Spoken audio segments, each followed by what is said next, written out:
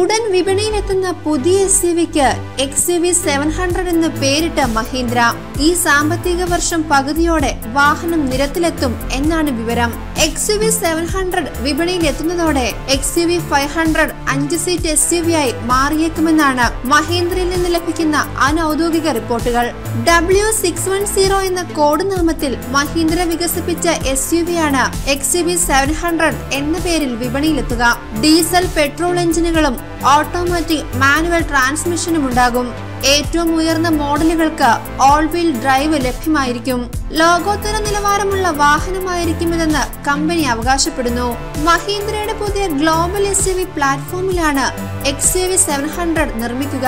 സെഗ്മെന്റിൽ ആദ്യമായി അവതരിപ്പിക്കപ്പെടുന്ന നിരവധി ഫീച്ചറുകൾ വാഹനത്തിലുണ്ടാകും എന്നാണ് മഹീന്ദ്ര പറയുന്നത്.